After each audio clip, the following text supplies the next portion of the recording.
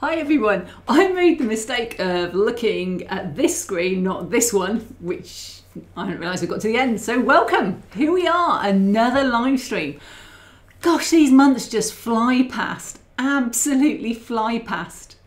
Um, and I, I, can't believe we're round again. But welcome everybody. I think I've said hello to everyone in chat, and I hadn't got as far as um, uh, CookieBot. So welcome CookieBot. Tim's just made it back from Statfold where he was showing off Port de Norwich, which was my last model railway I did. Um, he's been showing off all weekend. And I've been there looking at it as a little mini me on the stairs, I think, checking out what he's been up to. And he's had a few silly half hours running loads of trains, but it looks like it went well. Um, so good to have you with you, Tim. And I know John, brackets Bracken, further up went and saw it earlier, so I've seen photos. Um, so I'm just gonna, oh, and Adam has also joined, so hi Adam. I'm just going to start by thanking my moderators. I've seen Norm, um, Digger and Timber also will probably make an appearance. I'm not sure actually if Digger got back to me, but thank you to my moderators who chase off any bots who turn up, which is rare to be fair, but also delete any rude comments you make about things, so just be careful. And, uh, well, there we go. So, this week, I am talking about getting started in 3D modeling. So we'll talk about that a bit more in a minute because it's actually what I do all day. And I sat down and I recorded what I did Wednesday, Thursday, Friday, and part of Saturday for my modeling. And, and I am doing other stuff as well. And it gets, I was, I haven't done a character, which is what's up on the screen when I get there ooh, for years, probably two, three years. And the last time I did one from scratch, like this one, was probably a Ahsoka for the Clone Wars, which is mm, maybe three, four years ago now. So that probably three years ago. So it's been a while since I've done a character, and it was about remembering how to do stupid things like just pose them. And I had to go and look at videos that I've looked at before, and so it's been a bit of a learning curve this week, which is good. Um, normally, I do things like this though. So these are my current um, things that I've been working on. This is Pod Racer number two that I designed. This is Sebulba. Now I need to come up with names. And I obviously can't use the Star Wars names because, um, well, the IP'd and all that. And this is going on a Kickstarter that'll be up uh, probably mid, early, early mid June, somewhere in June. Anyway, so this will be up in June. And um, Sebulba is obviously very well known. My clip was a bit. I had a um, I hadn't levelled my plate, so you can see the gap through there. That's because my plate's not quite levelled, and so it was a bit bit off. This side's fine. Um, the plate was levelled better at the front than the back. Um, this is Sebulba, so I need to rename him. And at the moment, I'm just thinking about names. I'm going to put it on Discord, uh, probably when I get round to it at some point, asking for names. But if anyone has any great names for pod racers based on the existing names, so that was Sebulba, and I'm thinking about Bully Bullhorn or something for him, or Bully, or I don't know, something like that. But just Bully, perhaps. Maybe even just one name, names. Um, this was Ben Quadrineros and he's what you're going to be seeing all this evening when I get around to putting that on. And this is um, Ben. I think he's going to be Bob. I think he's just going to be Bob. So this is probably going to be Bob. I know what his surname is. Quadrineris is a four engine, so I'm kind of like Bob four pack. I'm crap at names. So if you have some good names, please put them. And then this is Mawhonic. He's the one that looks a bit like a bull. Um, and that's quite a cute little diddy one. You compare that to say any of the others, um, that you can see the difference. They, they're quite big, and is probably the biggest one in real life. Obviously, I can't really get him any longer than that. Um, but yes, this is a wee diddy one. But he's quite a big man, so he's gonna he's just gonna fill this. Um, so those are what I've been working on recently. Not what we're going to see this evening, because I just didn't video those. 16 hours took um, of footage sped up took four hours to render out for some reason so not in a rush to do huge time lapses again. But I'd be doing these for patrons so i can talk through the process of doing a character just for something a little bit different. And i do exclusive patron videos that about four people look at. Um, so the first bit of the video i'm going to put up in a bit is from there, and the second bit is um, just the stuff I recorded this week. So I'd probably yeah, it's 16 hours footage in total. But I think I left it running when I went to supper one night. So there's probably one of them's got a big long gap in it, and I just didn't have time before I dumped it out. Um, so let's go look in chat. Um, Richard was at Statfold today. Hi, Richard. Good. Yeah. Um, so I, have been to Statfold before lockdown, probably the year before lockdown. For those of you who don't know, Statfold Barn is um, the guy who owns Hunslet Engineering Company that used to make railway little railway engines, um, and he's got his own private big size, full size, um, but narrow gauge railway, and he's got everything from sugarcane locos to Welsh quarry Hunslets, not a surprise, um, through to just anything you can imagine. I think it was a modelers weekend this weekend, but they had trains running, buses running, and it's great. They've got more and more every year, you know, the car park's muddy one year, the next year a little bit more hard standing car park. You know, they, put a lot of money into it and it is effectively just a private big railway. What any man would have if they had the money to do it. Well, not any man, I mean, I'd probably build a space park, but hey. Um, so there we go. I think, um, so polite saying to you back, Kathy, I think that's about the cold weather. Um, we're not talking about biscuits today, Richard. No, I think we did biscuits to death. I can talk about chocolate and I can eat chocolate coming out my ears, but we've done that. Um, Ravenson Express, hello. Yesterday the new FEP foil arrived. Hope I can print again in the next few days. Do you know the last time I needed to change a FEP? I, I cheated and I bought two new VATs for about 30 quid. And every time my last two, this is only on the little Mars, every time my FEP's gone the last two times, I've literally just put a new VAT in and I've still got the old two. So I now have two that need changing and I'm on the last new VAT. So next time I really will need to change the FEP. Um, I'm changing it all the time on my um, big one, perhaps. Um, but yeah. Right, so Lee, we're talking about naming here for my things. Regarding names, create a naming language, one with basic words for colours, basic adjectives, animals, then you can mix and match to create new names. Okay. Um, it's going to be in English. I want to do posters of them at some point with a picture of the um, uh, the background will be the flag, a picture of the um, quad, you know, the pod racer. It's going to be called the Galactic Racer, and then the person over top um, as a model I've done, so that I can um, basically create something for each of them to use as advertising around a racetrack. Really. Um, Bobster. I like it. Bobster. Um, I just was really channeling minions, I think, with Bob. So it'd be Dave. Um, Norm says very nice. Thanks, Norm. Um. Tetra is Greek for four. I was struggling, thanks, Jaw21, to think of different languages for four. Um, and I was, I just, I got as far as cat, but Bob Cat sounded a bit maybe Bob Cat, cat with short for French cat. But everything, all the languages I know are really Latin based. I did Latin at school, but I never did Greek. So tetra, tetraion or tetra is Greek for four. He, he's quadrineros in it. So anyway, I need to spend a bit of time creating names. So um, that is going to be my thing, I think. Uh, hi, Matt Smith. Um, welcome. Hi, Andy. Bit late to the show. Uh, I wouldn't worry. Um, you know, it's good that you're here at all. I'm always impressed that people turn up on a Sunday evening.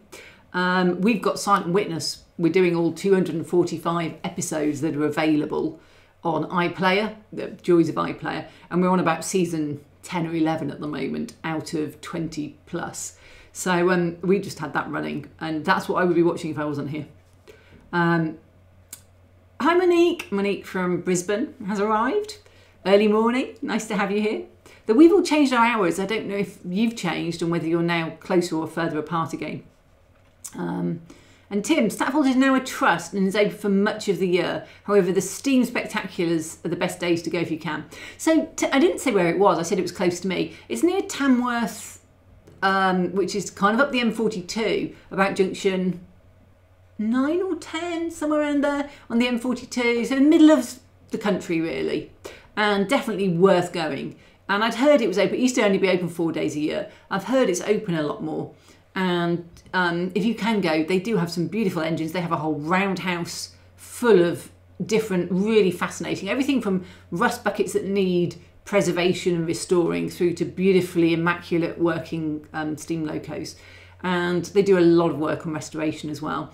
I think they even might build new ones. So you, there's a couple of work sheds so you can go around there. And when we were around, they had all the blueprints for all of the original Hunslet. So very exciting place to go, definitely. Um, hi to the creative modeler HO. Great to have you with us. And Ravenson, my cat's name is Billy Bob. Oh, Billy Bob Thornton. Um, hi, Mike Espo Diecast Customs and more. Welcome.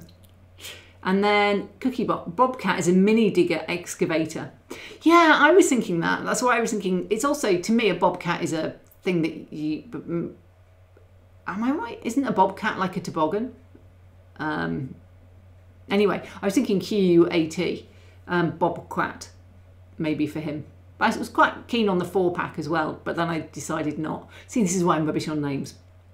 Um, so Lee said, Love Silent Witness. Are you still on Amanda Burton? No, I think she goes out somewhere like season eight. So we're a couple of seasons past her. At the moment, it's Leo, Harry, and Emilia Fox, who's Nikki, isn't it? I can never remember her name because this the character name and the actor name gets confused. But no, we're still on those three. And I get people say, "Oh, have you had so and so yet?" No, we're still on Leo, Harry, and um, Nikki.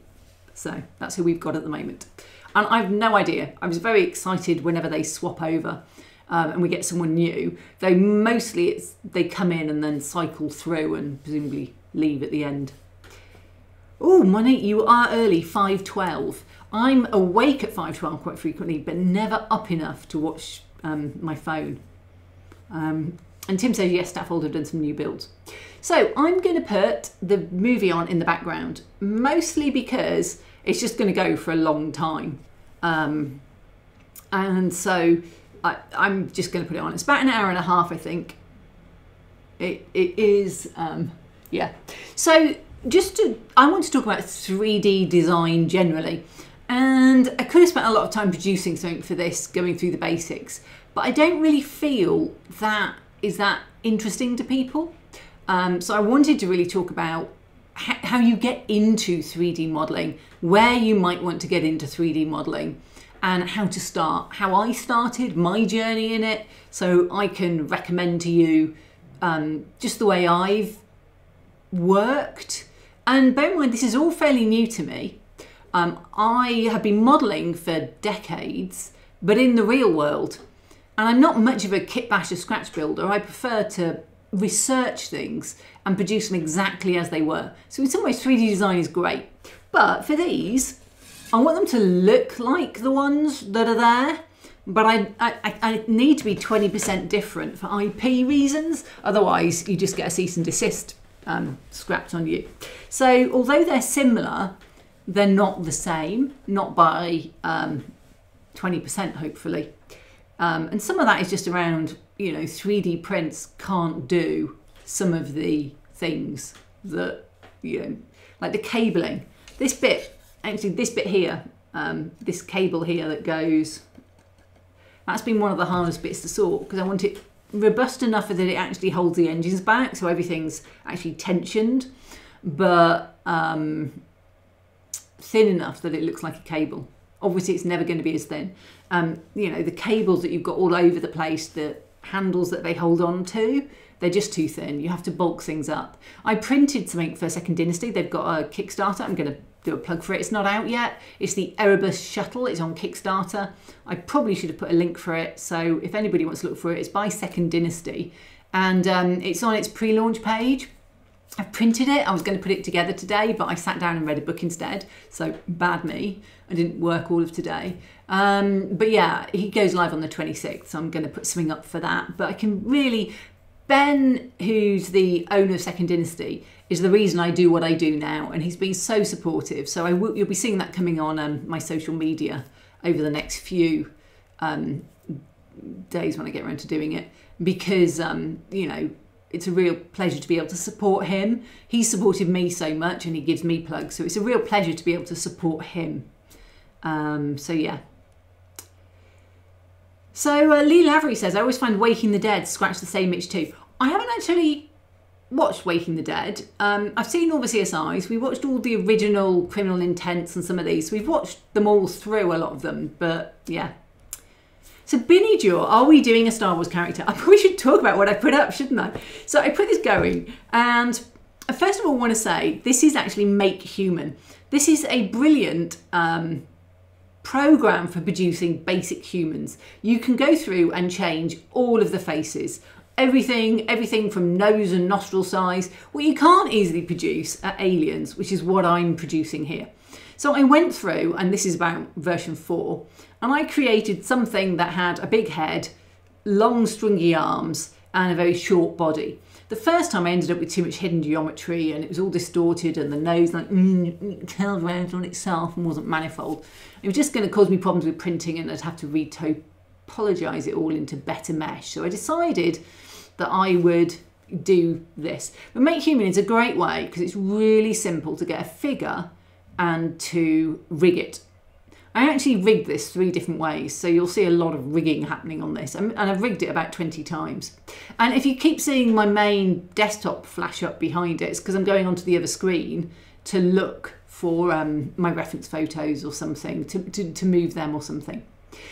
So because I'd done it in Make Human, it brought in eyes and a mouth as well. You can add all of those things in. And I go through it in a great detail on my Patreon video. Um, Make Human is free, Blender is free, and that's the two programs I'm, I'm now in Blender that I'll be talking about. But I'm not here actually to talk about programs, I'm here to talk about how you actually get started, the physical process of how you actually start modelling and how you get into it. And this just happened to be what I'd done this week. And I actually mostly do hard surface modelling, which means I start with a cube. Um, this is very much although I do it in the same methodology because it suits me better, I do a bit of sculpting in this. I actually ended up not using my sculpted pieces because I can't sculpt for taffy, really. So um, I prefer to take a vertex, the one of the little dots, and move it than to use a brush to distort it. It's just, just what I'm more used to. And I tend to use a mouse. I have got a pen tablet now that works. It was 25 quid.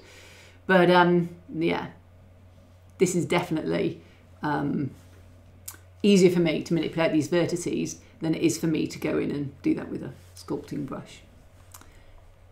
Uh, so Binny asked, are we doing a Star Wars character? So this is the dude that goes in, this is the first um, pod racer I did. So this is Ben Quadrineros, who we're going to call Bob. I, I haven't, um, someone suggested I put the names underneath. I haven't done the naming yet, so they're all just BQ or some other. I need to change all the names on all the files when I decide what it's going to be.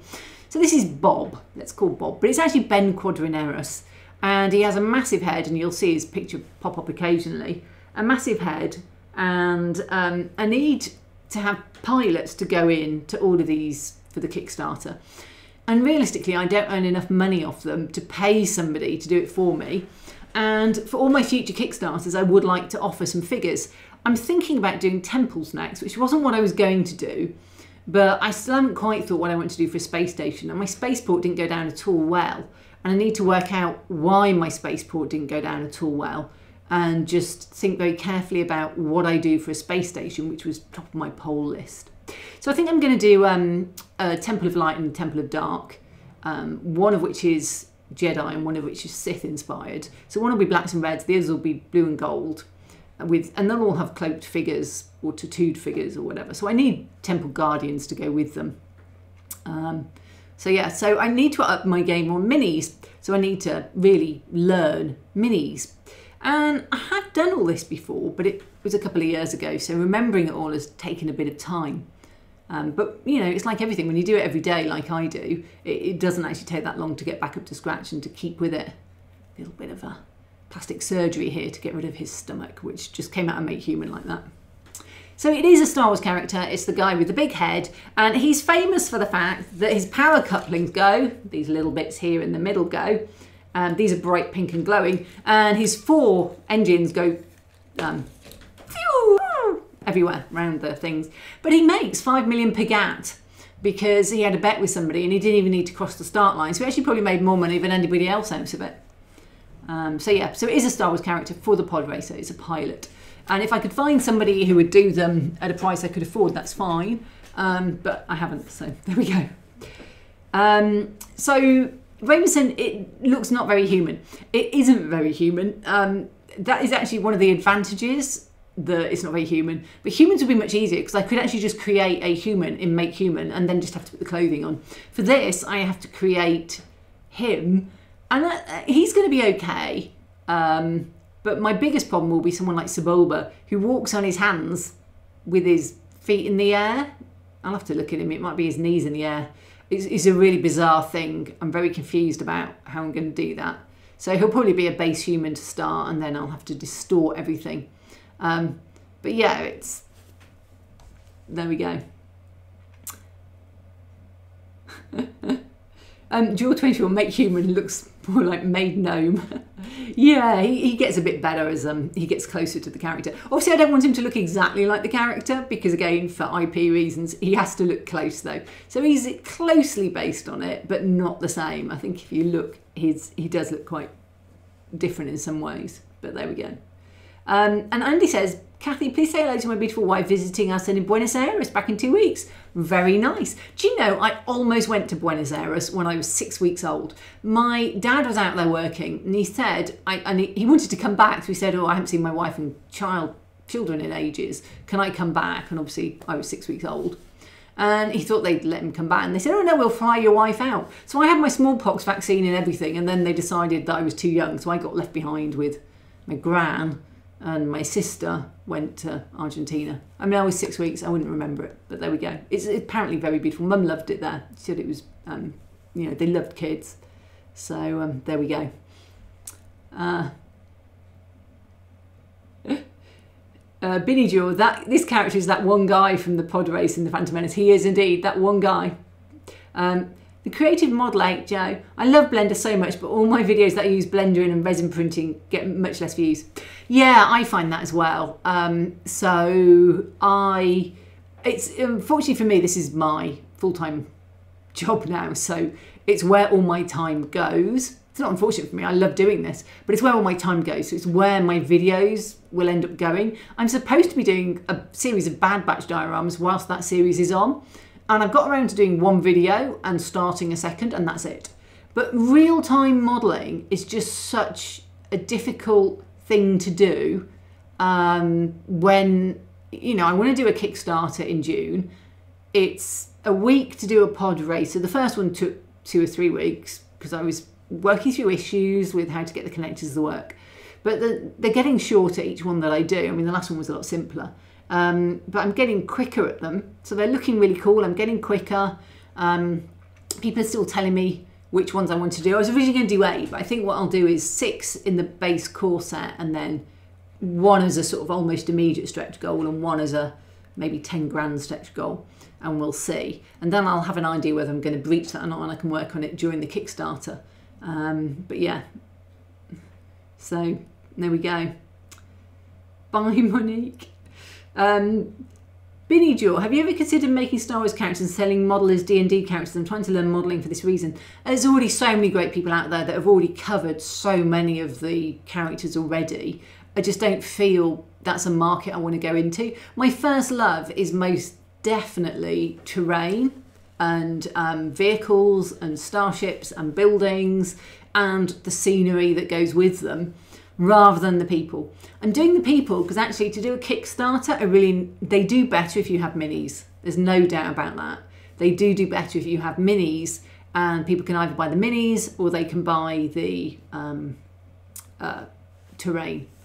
And I've been doing too much for my Kickstarters, so you know, yeah. So anyway, I'm working on this. I, I actually um, need to start talking about how to get into 3D um, modelling, don't I? Uh, so Ravenson Express, the program should be called Make Up Ugly Creatures instead of Make Human. No, sadly on it, you can't make up ugly creatures, or it would have been much easier. The thing you make are humans, and then I had to spend a lot of time converting it to an ugly creature. Took quite a lot of time, I promise you, to make it look anything but human. Um, Ravenson Express, by the way, there's also a program called Daz 3D that should be good for creating figures, but I've still not tested it. So I want to sell these figures, and one of the things that's very good about Make Human is if I use it, there's no limitations on me being able to use it commercially as a base mesh. I mean, I'm obviously doing stuff afterwards, but um, you know, it, it, so I'd have to check whatever it is. Um, you know, um, yeah, whatever it is, it has to be able to be used um, for me to be able to sell it. Back Monique, hi, great to have you there. So Billy Jaw, um, if you want to look for great ones, Black Remnant um, and Darkfire Designs, Hokusa, but he's actually just paused his Patreon, and then Squamous, who's become David chef models, Anvil Range, Anvil Rage, and there's a, there's loads of others I've missed. But those guys all do Star Wars um, creatures.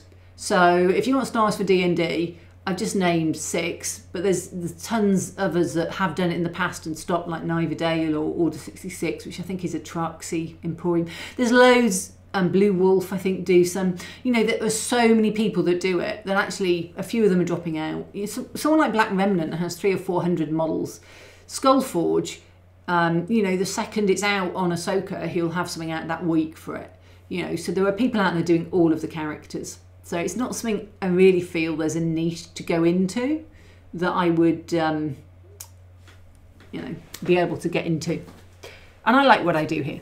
So 3D modelling. If you don't know anything about 3D modelling or you're just getting started, you've bought your first printer, you've printed some bought models or the ones that came with it, where do you go next?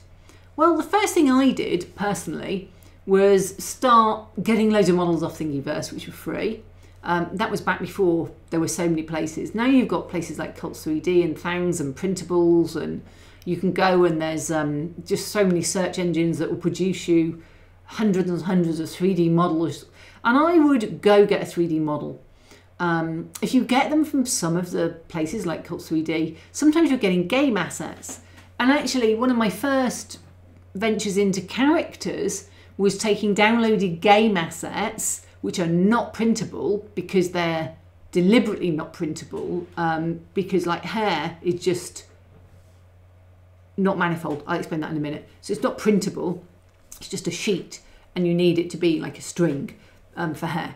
And, or it's too thin, it's not made to work. And working out how to make them printable. And that, to me, there was a huge learning curve about taking other people's files and either changing them or tweaking them, um, especially with game assets. So if I wanted a Lara Croft, um, you can get loads of game asset Lara Crofts in all of the main games so then you can take your game asset one and move them. That was the end of the second video.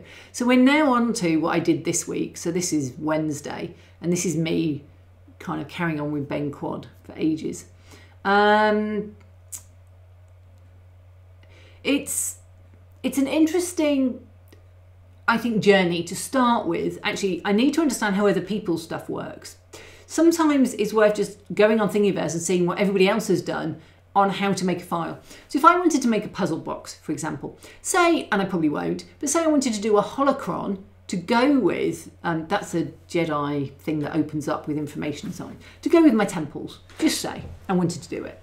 Um, you know, as like a dice container or something, which was an idea I was playing with that probably won't do. Um, but you know, suppose I wanted to do that. I would actually go and look on Thingiverse first and see how everybody else has approached it, to see if it's opening, to see how they've made it. I wouldn't necessarily download those and um, use them, but I might go through and look just did they do a ratchet? Has it a screw top? You know, there's loads of puzzle boxes I've printed in the past. Um, you know, how did they open? Is there something I could take from what I've seen? Oh, uh, obviously this was the, me now going off, and this is actually um, a good reminder. This is me trying to get this to print, and this is um, Ben sent me the files for the Erebus shuttle, and he sent me them pre um, his final printability pass. So when I went to print them, um, I got them and they didn't they didn't come down. I didn't look through this footage because there were 16 hours and I haven't edited it out yet. So you'll probably get loads of me just um, dumping stuff out and um, and trying to get things into various different places. Um, so this is me um, getting a print ready. Woohoo! I have exciting stuff that I put up here. I spend a lot of time though in um, Prusa Slicer checking files. So it is part of my workflow quite a lot. So it's always open. Um, uh, so yeah, um, I so I started with just trying to tweak files to get them to work. So I'd have a Lara Croft and I'd want her arms to go up so I could have her hanging off a um, branch. Or I'd want an Ahsoka. And when I did Ahsoka for the Clone Wars, she's holding a lightsaber. She just dropped a lightsaber and I had that in hand. And so I had to learn to do that for this. But most of what I do is hard surface modelling. And to get into it, you need to pick a program. Now, Blender is quite dense. It does a lot. It does sculpting. You'll see how slow it is because there'll be an awful lot of the churning rainbow wheel you get on a Mac as we get through this. Um, it, it really doesn't cope well once you get too many quads on there and too many vertices and whatever, it gets too much. And when you're sculpting, sometimes you need to go quite high definition. And I made the mistake with this of downgrading the definition on it quite early in the process. And then when I tried to pose them, it all distorted and I got some really weird stuff. So I've learned a lot doing Ben and I wouldn't do him this way. I've, I've learned a lot for the next one. Um, he's actually come out all right because I had to fix everything, but it meant I was fixing things I'd already sorted. So it's a journey getting with 3D modelling. And I don't think you start with, oh, I'm going to make a, a pod racer like this. You don't start here. This is definitely not where you start. You start by making little things. Um, you know, some of the early stuff I made was something like an oil drum. It's actually quite simple, an oil drum. It's basically a cylinder with bits bumped out. And I made it in Fusion 360 and I did a loom and wrapped it. In Blender, I do it a completely different way um, because that's what I'm doing. And there's some basics you need to learn that are the same in most programs. So I think Luke Towan uses Tinkercad, people use Mesh Mixer, I like Blender. All of these are free programs that people use. I do recommend learning a free program if you're just getting started, rather than spending a lot of time trying to um, sort of pay money out for something that you may not actually enjoy 3D modelling. I mean, I was an accountant. I spent half my life on a computer before this, and I do love spending my time on a computer. I always have. I just I could sit and spend my time playing on spreadsheets for hours. I love this type of stuff. So for me, I really enjoy doing this all day. I really do enjoy designing all day. But if it's not your thing, don't choose perhaps something as complex as Blender if all you want to do is design, you know, quite simple objects that are mostly square.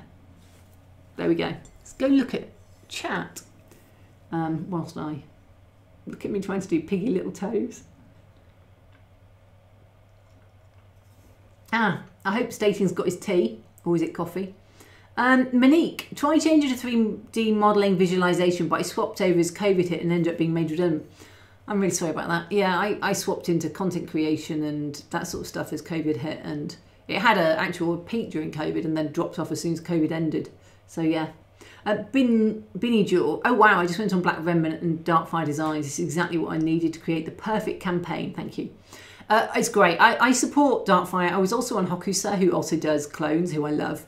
And um, David Chef Designs now, if you're into the original trilogy, has some great stuff um, as well. So I really like him. He now does Kickstarters, but not in the Star Wars area. So great. Norm, how difficult is it to make character with movable appendages? Really simple in Blender, um, and you'll see it. This gets posed by the end, um, by the end of the week. Um, in fact, it was printable at the end of this. Uh, it's printing at the moment. I forgot to put it to go till um, earlier today. So it was a six hour print and it was still going when I looked earlier. It took me a while to get the room up to temperature. It has to be 25 degrees for that particular. Really simple though. Partly because I took this out and make human. Um, what happened though? I took it out of make human and I only did one side, if you look at this. Um, so I've only ever fixed one side um, if I need to fix the hands or the face. And then I mirror it and smooth out in the middle where there's a join, which there normally is if it's a rounded shape. So because that's why I did it, I actually lost all the rigging from Make Human. But uh, just quickly there, um, you saw I moved that. I actually did just move it. Sorry it keeps blipping onto my desktop.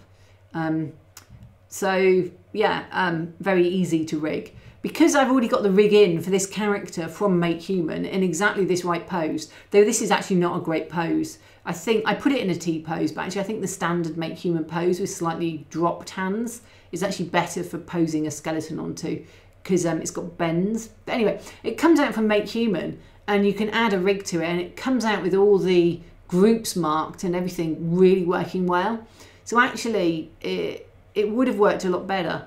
So what I would do in future if I was doing a human is use the make human and probably then add the head on separately. And if you look at Darkfire's heads, quite often they're a separate piece, so you can pop them on and swap the heads or the helmets because they're clones. And so you only have the body, you don't have the head. And so you can actually get rid of it and make it a lot easier. Um, but yeah, this is me sculpting it.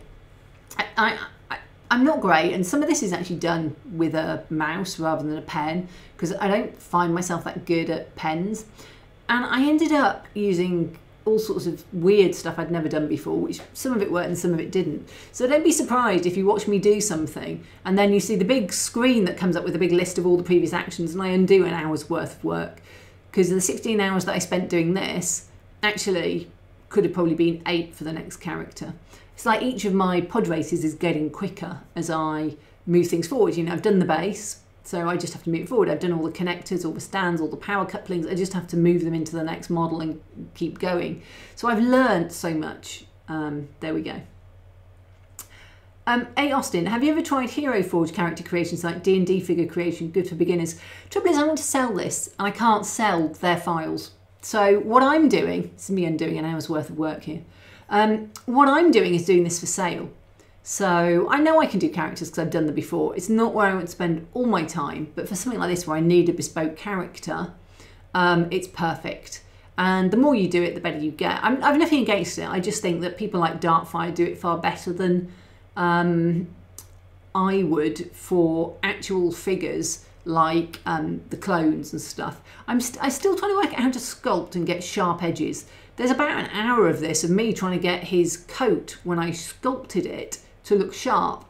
And I could never get it to look sharp. So in the end, after two or three hours of doing stuff on it, I went back and did it with a subdivision surface modifier and started off with a circle and just did it with the vertices instead. Came out much quicker, much easier because that's what I'm used to doing. So, um, but yeah, I can't sell Hero Forge stuff. So for me, it's it's great for other people. I've seen some great stuff done with it, but I just can't. I just can't. Um, so James Pett says, I approve of Blender. I really approve of Blender. It's free and it is absolutely powerful. It's just sometimes too powerful and it's a steep learning curve. So if all you want to do is, is um, you know, things that are like buildings that are squares, you do not need something as powerful as Blender. You can use Blender. I do it for everything. But there's quite a learning curve to, to get to know Blender because you really do need to know a lot of the shortcuts oh, it's on the menus, but there's just so much on the menus, it's finding stuff. And what you can't see, because I haven't got like the screencast keys enabled, is 99% of what I'm doing here is done on shortcuts. I'm not actually going down menus for most of this. I'm using Shift A to add something new, um, E to extrude, G to grab, R to rotate. I'm using X, Y, and Z if I know it wants to be on an axis. I'm putting O on and off for proportional editing. So whatever you decide to do, I would start with a simple program and, you know, something like Tinkercad, which Tamsin actually says, um, uh, I've used Tinkercad, but all I've been doing is some basic stuff with hard geometry. You know, Tinkercad is great for hard geometry. So, um, you know. Uh, Richard says, I'm new to this and still learning. Thanks for the fab info, Kathy. Uh, happy to help when still got quite a lot more info to impart. Um, and then Vincent says hello. Hi, Vincent stating, as a spreadsheet nerd, I approve this message. Coffee acquired, thank you. Brilliant. I love spreadsheets. I mean, I would design 3D models in them if I could, but yeah, I'm a Excel queen. Um, Samuel Beckett, hi KM, hi mods, hi community. Apologies for being late. No YouTube notification. Oh, that's weird. I got one on an email when it went live. So why is there a model me here in Blender? this is a face only a mother could love. Yeah, bless. Oh, bless him. I love him too, but I guess you could say I'm his mother because I produced him. That's weird. Let's not go there. Emery Sahin. Um, 3D wave model can be a very good commercial idea to create a cellular wave effect in epoxy works because not everyone is successful in creating a sea wave effects in epoxy works. Yeah, um, I think one of the uh, um, one of the things that I sell is something that you're going to print at home, and so um, if I would sell terrain that people use for tabletop games because that's where there's a market. And if I could do waves for that, I probably would. But at the moment, I'm, sand dunes is what I've actually done. These bases, and I did these using the pen and it cramped my hand like mad because I haven't used a pen in years. These bases are actually sand dunes. If I had the smaller one, that actually has a lot less on it. So you can see these are sand dunes. So that is really simple. That was like a few hours work. Um, so, um, right. Bill, do you ever start with a 3D mesh model and modify it? For instance, use create a model using LiDAR to scan a little figure, then customize it. That's a really good question, and I've never got it to work. So I tried a couple of years ago photogrammetry, using your phone, all sorts of things to scan a model.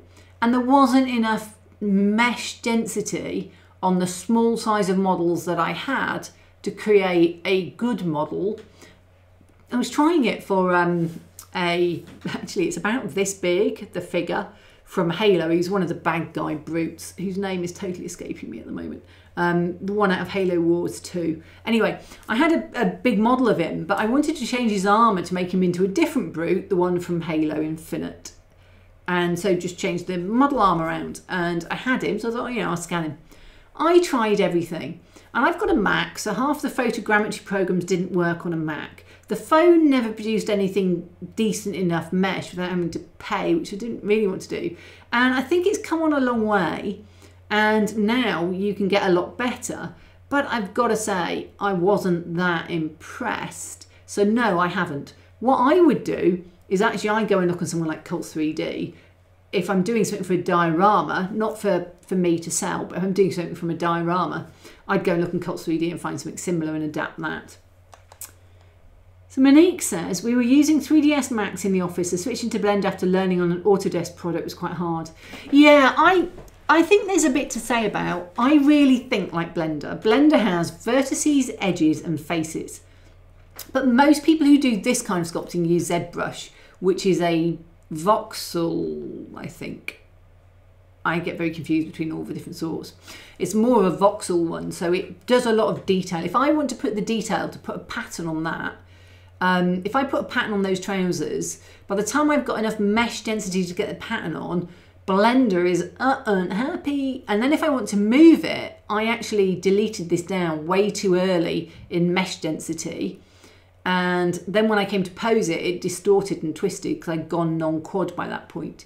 So there's definitely um, something about um, I'm learning. Uh, but I think Blender is a learning point and everybody has to decide which one suits them. If you're doing um, hard surface and you're going to be doing a lot of very CAD, I've got a, a blueprint I want to follow, then Fusion 360 may suit you better. If you want to do what I do, which is a mix of sculpting and hard surface, then Blender is, I think, better. Um, Norm, would pod racers have more cushy bottoms and longer legs? Uh, I have no idea about whether their bottoms are cushy. They're all alien. Each one of them is different. Uh, this one is based off the film, and I've actually got a big book here that's um, the Chronicles, and it's got the CGI pictures sort of front and side for each of the characters. So that's what I based it on. So actually, now we've mentioned that, um, so when I start with 3D modelling, the first thing you need for a good 3D model is a good reference. It's the same for any modelling. So if you do any modelling at all, you'll want good references. So I've been creating Maul's scimitar. Um, I, I had it and I spent um, ooh, and I did it over Christmas. It was just a bit of fun over Christmas because, like, when you design for 3D printing for your living, what do you do at Christmas? Oh, let's just design something else for 3D printing. Um, so anyway, I designed Maul Scimitar, and then I've still got the legs to do, the sort of landing gear, and it's it's done, but it's it's spot on, bob on accurate. So it, I'm not sure whether I'll ever sell it or not, but it was a personal project anyway. Um, and and I didn't think about printability too much when I was doing it. So there's a few things that don't orient well. So the first thing you need for 3D printing is really good reference photos. What is it that you actually want to um, sort of produce? Have you got a blueprint for it? So if I look at these pod races, I'm looking for 20% difference. So I've just got a picture and I'm doing it off a picture. And if it's not quite right, I don't want it to be quite right.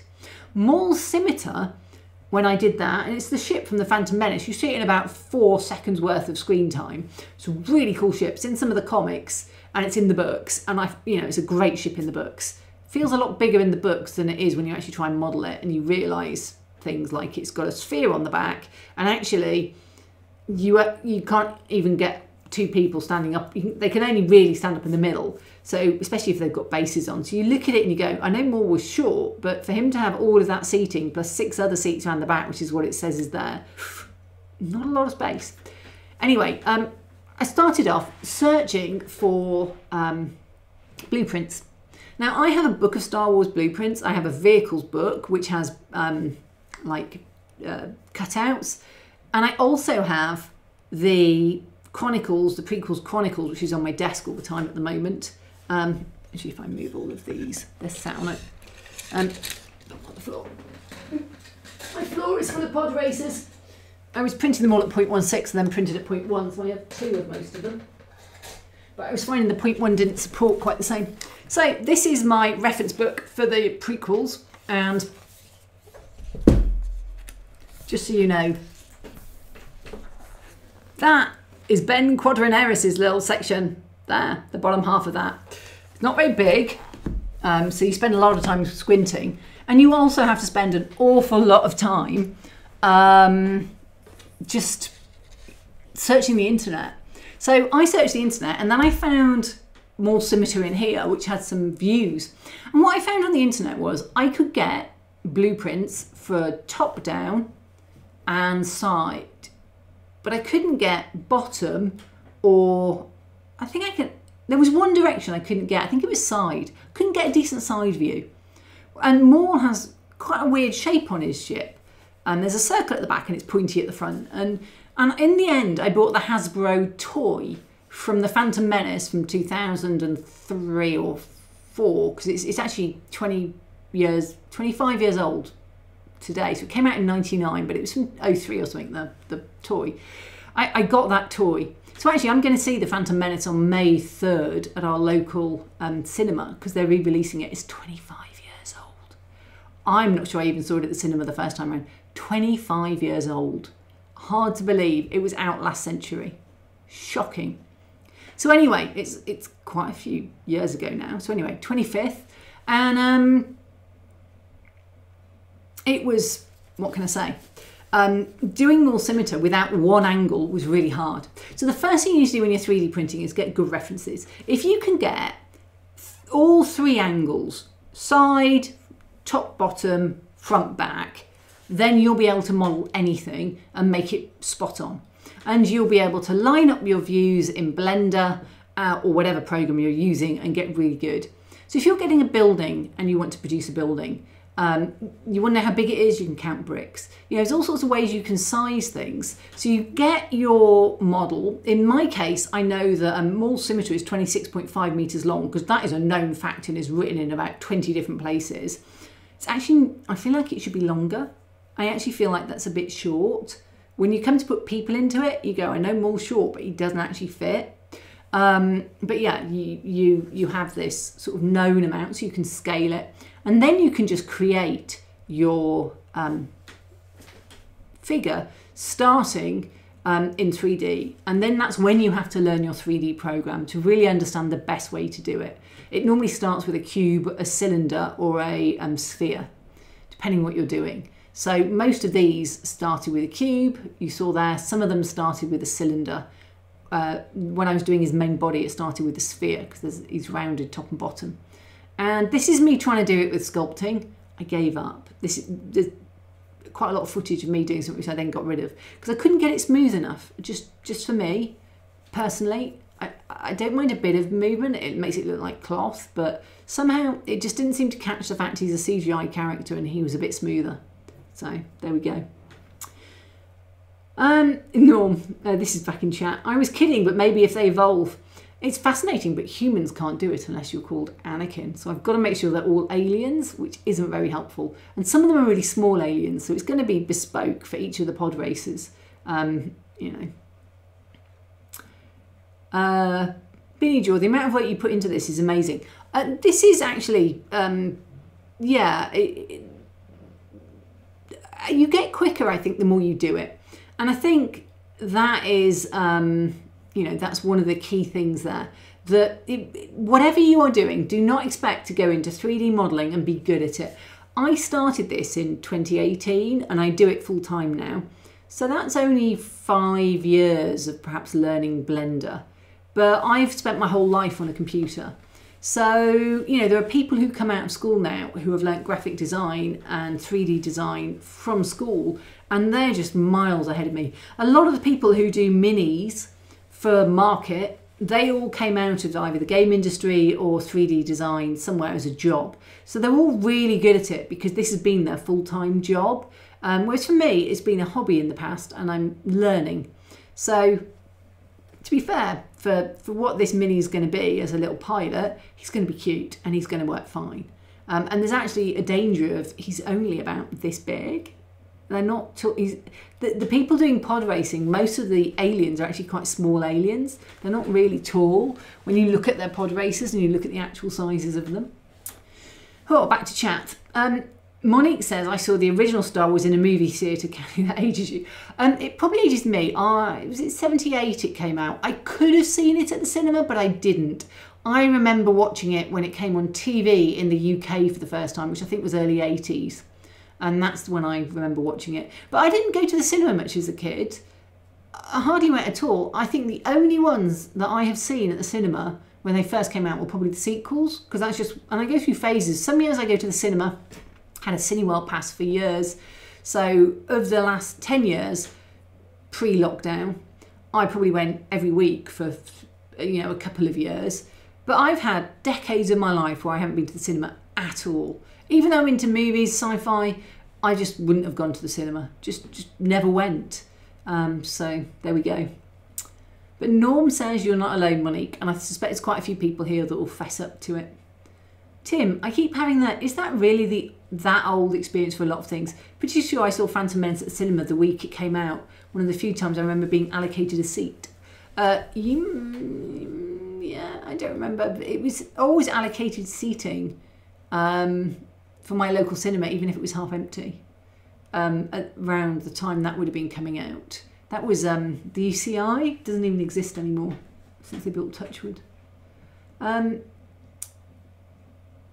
I think um, Russ Rockin says boomer. Um, right. Stating the Obvious saw episode four in the cinema. That Star Destroyer went on forever. Yeah, I mean, somebody on um, my Discord. Oh, who was it? Oh, I'm sorry, I've forgotten. Um, somebody's going to see all nine across May 4th weekend in a row. I'm just like, when do you go to the loo? Do they have breaks? Do you eat? it's 20 hours apparently. I watched, I actually watched The Phantom Menace and the other prequels um, only a few weeks ago. So, um, but um, I have to say, uh, they're, they're okay. I dislike so much about the prequels. I love all the TV series and the books that go alongside them, not the actual book of um, Revenge of the Sith, but I really like that era. It's my favourite era in Star Wars because it has Jedi. Um, and I'm really looking forward to um, The Acolyte coming out June 4th, I think it is. Um, and that's a live action, not done on the volume. It's funny, people looking at it going, you can see how Star Wars fans love to hate there's a huge sort of series of comments going, you can tell it was done on the volume. It looks so poor. And it's like I chatted to one of the cameramen when he came to borrow some of my terrain for something. It's none of it is done on the volume. It's all done on stage, sound set or outside. So when people start saying, oh, it was done on the volume, I don't like it, the CGI looks rubbish, you can tell it's all just fake. They're just hating on it because they love to hate. Don't believe Star Wars fans. Everything's cancelled and not going to happen according to them. But the other thing they advertised was recently was Tales of Empire, which is um, they've done Tales of the Jedi, which has some great Dooku and Ahsoka stories. Um, but they also did Tales of the Jedi, um, Tales of the Empire coming out, and that's got Barriss Offee. And if you've seen the Clone Wars, you'll remember her from that. She has a good arc in it, and it'll be interesting to see what happens to her. So, um, Samuel Beckett at Monsville. I'd imagine we're all about the same ages. Vague recollection of episode 4 release, but definitely clearly remember the rumour of groundbreaking revelation of DV and LSW confirmation in episode 5. There we go. Uh, Tamsin says, I think the first was 78 for the UK. I think I looked it up to see. I wouldn't. Have, I was six then. I wouldn't have been. No, I was actually five probably when it came out. I wouldn't have been going to the cinema really to see it anyway. Uh, even though if we had gone to the cinema, we would have. It would have been the sort of thing we'd have gone and seen because my mum loves it. So Monique says 1977, but I don't think it's out at the same time at every single country. I think America gets used to in those days get everything six months to a year earlier. So, you know, it was like TV series could be decades almost before they came out in the UK. Um, even Mandalorian, um, Disney Plus didn't launch here. So Grogu, or Baby Yoda, totally spoiled everywhere. Everything totally spoiled by the time the rest of the world got it outside of the US and maybe Canada. I think Germany had it before us. Um, so yeah, just you get used to it. Um, Russ rocking O and HO trains and stuff. 77 in the US, I was in the seventh grade. Yeah, it was definitely 78 in the UK, I think, because I looked it up quite recently. Samuel Beckett, I've been to the cinema since Avatar. So disappointed. I didn't actually like Avatar that much, and I watched the newest one recently, and I'm still like, not that much. Um, but um, I think, you know, I used to love Marvel up till Endgame. I think that was my favourite um, Marvel, but I haven't really, I've just not really been. Yeah. So um, Tamlin says, just checked IMDb, December 27th, 1977. I probably saw it in January 78. Yeah, I think most people would have. So actually in January 78, I would have been four still because I would have turned five that year, so I definitely didn't see it. But I remember it coming out on TV and getting very excited and making my dad buy a little TV for the canal boat um, for that. And I think it was 82 to 84, somewhere around there. Um, Bill, after having good references, what is the second most important thing when it comes to 3D modelling? Uh, it's a good question. So for everybody who's saying they saw it in um, 1977 in the US, um, if it came out December 27th in the US as well, I suspect you didn't all get to see it in 77. A lot of you went to see it in 78. But it might come out six months earlier there because it's just the way it worked. Uh, so, after references, back to 3D modelling, which is what I'm supposed to be talking about. Um, after references, it is about picking your program and learning it. So 3D modelling is all about having the, the right program for you. You can see I'm doing this in Blender. I I used to use Fusion 360 and Blender, but just little things like panning and moving and orbiting and all of the different move things are different between the two. And when I first started on Blender, it was really hard. It was right click to select. And they did a massive UI update to 2.8, which changed everything and it became much more user friendly. Up till then, it had been quite a dense program. You had to know the shortcut and it was really hard to learn. Then they did a UI update and it became a, a lot simpler to learn. And now, if you want to move around, you there's like five or six different ways to move. Whether it's using the mouse, whether it's using different buttons on the mouse, whether it's using the um, thing that you can see moving all the time that's red, green, and blue. That's the you can actually click on that to change direction. Whether it's using the number pad. So you know it is about learning the basics of your program. How do I add a basic shape? How do I manipulate that basic shape? What are the controls? What are the shortcuts? Because if you're going to 3D model, you'll want to know some of the basics. How do I grab it? How do I rotate it? How do I scale it? And in Blender, how do I extrude it? As in expand it by adding another face moved out. Um, how do I scale in a certain direction? Where do I put the center of it? Because um, the center is very important. Where does it pivot around? How do I select it? Um, you know, what are the shortcuts that I might need to learn? Some of the things that I use a lot in Blender are add-ons. Now, Blender is free, but there are paid add ons you can put onto it. And there are add ons included in Blender that are not enabled off the bat. So, basic vanilla Blender is actually quite basic for a lot of things. Personally, I have about eight to 10 add ons, and some of them I wouldn't live without. Um, ones I always recommend, I think included is Loop Tools, which I have going, um, but the 3D Print Toolbox, which helps you find manifold issues. To be fair, since Christmas, I had a problem with one of the pod races. I couldn't get it to go manifold, and Blender was saying it's manifold, and Prusa Slicer was saying it wasn't.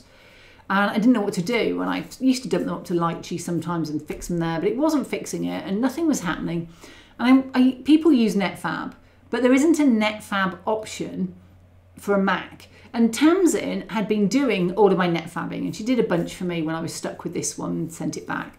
But I can't, when I'm designing full time, doing maybe 20 iterations or something, keep dumping them out to Tamsin and going, Tamsin, would you mind just netfabbing this for me? Because she has a PC and netfabb works on the PC, but the Mac doesn't work anymore. And now it's an Autodesk product, you can't use it easily. They, they basically got rid of the free version. But I found another website, um, Formware, as you'd expect it to be spelled, F O R M W A R E, like form and software, but formware.co. You can load stuff up there and it fixes them, and it's miraculous and it's really good. It'll do up to 50 meg files as long as they take less than four minutes, and it has fixed everything. And I just I use it all the time.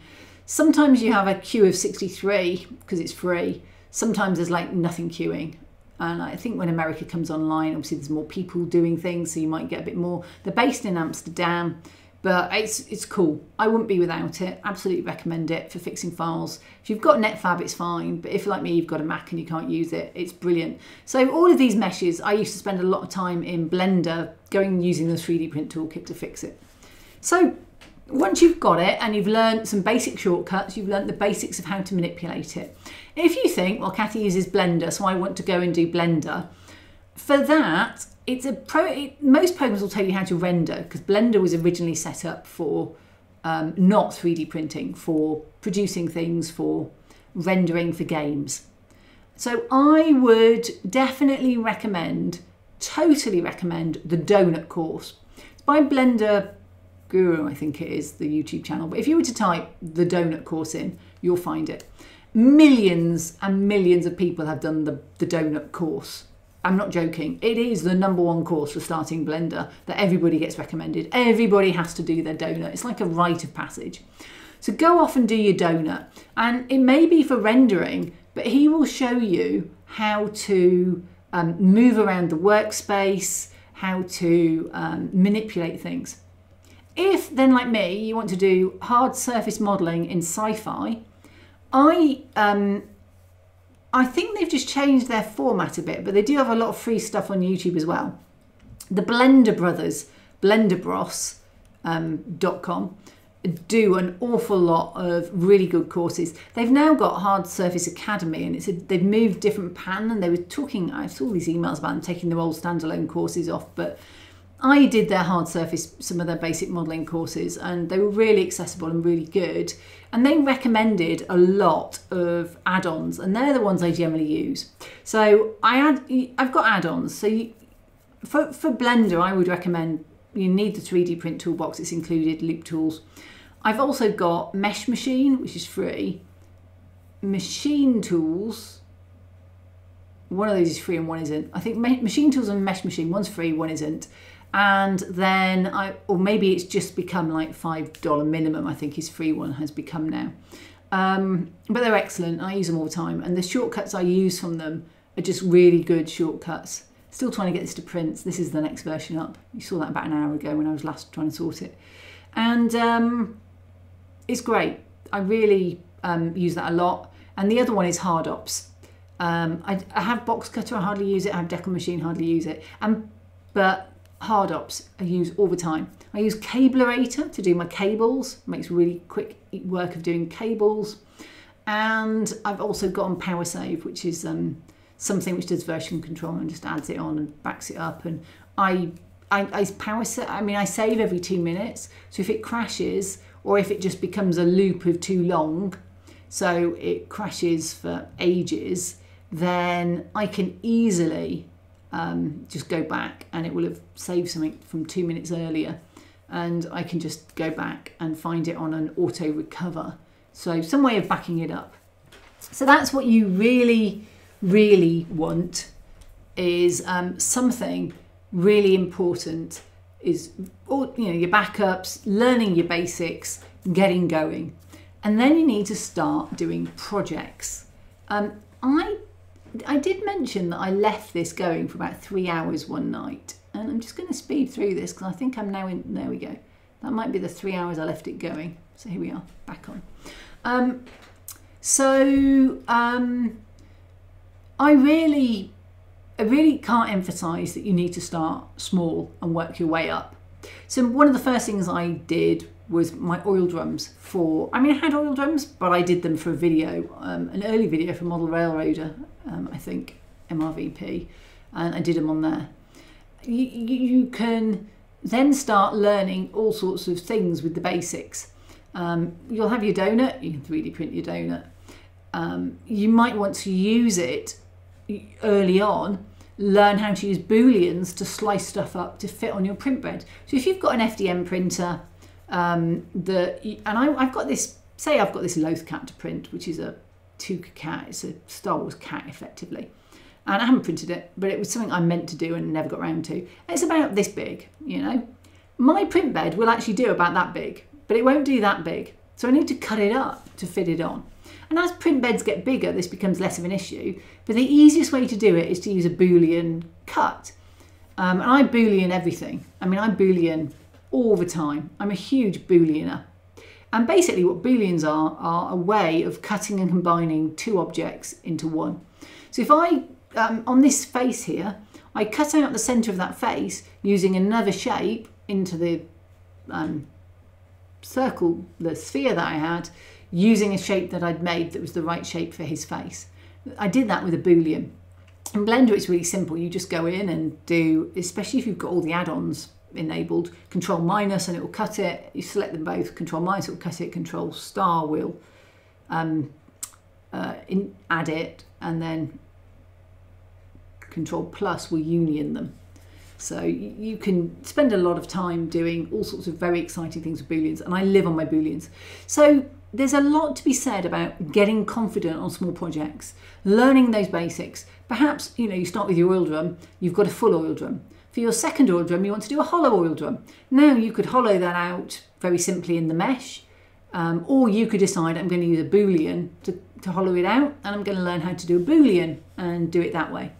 So, you know, there's a lot to be learnt building up over time. So, uh, right, back to chat whilst I'm doing this. Norm, US was 77, so apparently it was 1st of May 77. So this is it. When people get into arguments on the internet, I often just find it's because they're in a different country. Um, like people will write tell me all the time, I said there was a Jeep on Jurassic Park, and they, people will write from the US and tell me it wasn't a Jeep, it was a Ford Explorer. And I'm just like, actually in the UK, Jeep is any four wheel drive. So for me, it's a Jeep. It might not be for you, but for me, it's a Jeep because Jeeps, I had a friend that owned one, but they're not a car you see around here at all. Nobody really buys them. So for us, Jeeps are something the Americans came over, four wheel drive, they're just called a Jeep if they're off roaders. So, you know, it's a Jeep. And that, both of us are right. I mean, the fact people think that they want to write and correct you on the internet always amuses me, um, you know, but it gets great engagement for um, YouTube if people write and correct me. So I generally don't complain, but I do write back and just say, well, I'm British and that's what we call them. Um, so, you know, it's fascinating how um, you can have these discussions with people and it just turns out it's a different country thing. Monique, I've never gotten into Marvel. It seems a bit silly having superheroes in our world. Star Wars was a completely different universe and more believable to my black and white mind. See, I love superheroes and I love the idea of. I, I was brought up on a mix of sci fi and fantasy. So I, I, don't really care which universe they're supposed to be in. Um, I just really like anything. But I think we've overdone the superheroes at the moment. I'm feeling like there's too many superheroes and we could do with just going back to having decent heroes. Um, Having a good machine is very important too, says Russ. It is. I've now hit the problem that my old MacBook Pro, which I've had since 2014, so it's 10 years old, won't load the latest Blender because it won't it won't do the latest Blender and it won't do the latest Mac upgrade and it won't do the latest Lightroom. So I've now got different versions between my two machines and I hadn't upgraded it to the latest Blender it would do. I think I was a version old. And the, what I was opening there on this machine in my house wouldn't open on the MacBook Pro that was around at mum's. So yeah, I, I, need to buy a new one, but I'm just waiting for the next Kickstarter to get the money in um, before I do. But yeah, it's um, it's definitely good. I put extra RAM in. Macs aren't great in some ways because for rendering they have they don't have a graphics processing unit in the same way as a PC. So they can be a bit sucky on the rendering. But I think the newer stuff that Apple's brought out has been a lot better at that. Um, Dual 21. I tried Blender with an Apple Magic Mouse and it was murder to move without a scroll wheel. Um, oops. Oh dear, you all disappeared. Let me try and do this. So this is my mouse. You will need one of these for Blender. It is a wired, because I prefer wired mouse because they're less. Middle mouse button with a wheel. You need a middle mouse with a wheel. The other thing you need for Blender is a number keyboard. If you don't have these two things, you will suck at Blender.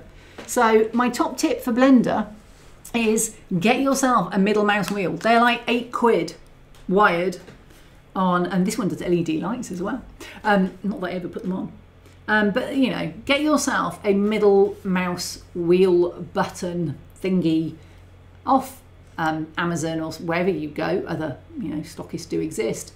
They're like eight quid, and I've got a spare one because sometimes this one gets a bit dicky. But yeah, have them. Just yeah, can't do Blender without. Um, and the Apple, I mean, I hardly use my Apple mouse now. Um, I use it more like a trackpad. Um, but you do need a number keyboard as well. You can't really use Blender without a number keyboard because all of the view alignment is on a number keyboard. So get yourself, I end up buying a new keyboard. I mean, if you've got a PC, you may have it anyway. But I always use the Mac keyboard over my MacBook Pro one. I put another keyboard on top. And yeah, if you don't have those two things, you won't get Blender to work, I'm afraid. Um, the obvious, Battlestar Galactica film was 1978 too. Yep, and I am sure I probably watched it ironically, that big screen it was me dumping out of Blender because I'd done something that had taken so long. I just crashed out of it and recovered it. So yeah, sometimes I just crash Blender out when it gets stuck. Um, Kay, Samuel Beckett asked, do you use a 3D left-hand puck for view manipulation in addition to the keyboard shortcuts and mouse? No, I use my mouse for view manipulation. I just use the mouse. It uses a lot of the middle mouse button to do the moves, and then I use the keyboard for the shortcuts, but I've just got the mouse. Um,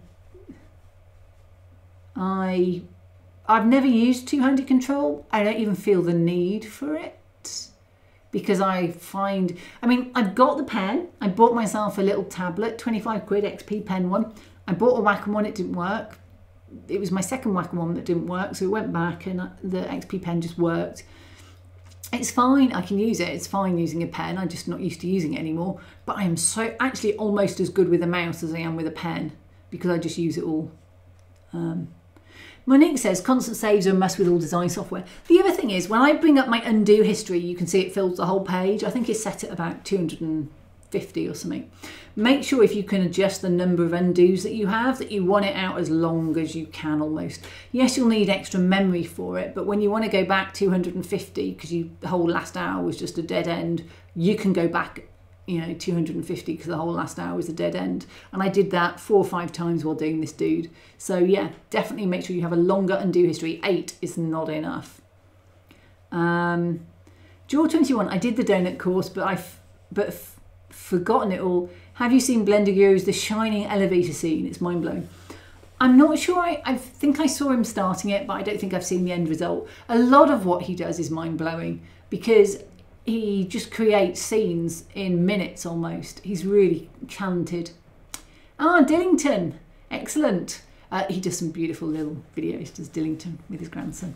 Evening, Kathy, and everyone else managed to get here. Better late than never. Definitely better late than never. Um, so there we go. Those people saying hello to him. A Russ rocking, no argument, just a nice discussion, Kathy. I don't even know what we're talking about. Having a good machine, yeah, um, yeah. I often do crash Blender when I. You'll see by the end of this.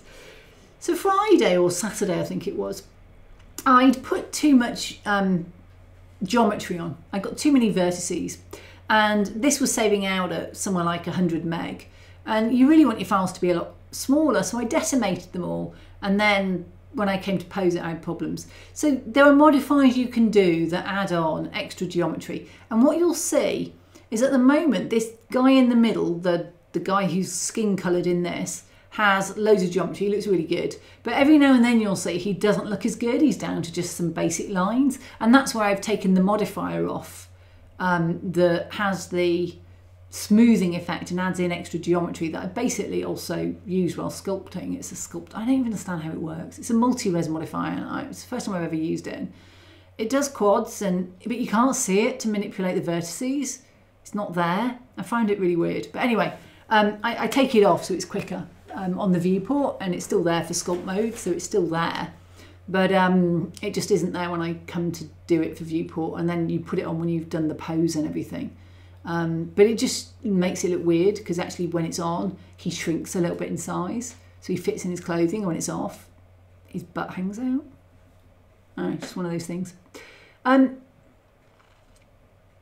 so John Games, I'm tad confused why you're using a subdivision modifier instead of multi-resolution for sculpting, but okay. Okay, so there's two types of um, way of doing things, John. And I had never used a multi-resolution before.